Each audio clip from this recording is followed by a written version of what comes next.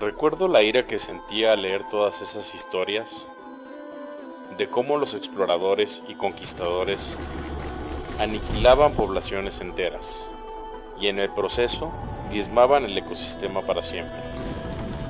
La diferencia ahora es que sabiendo el daño que ocasionamos, lo hacemos pero a una escala mucho mayor.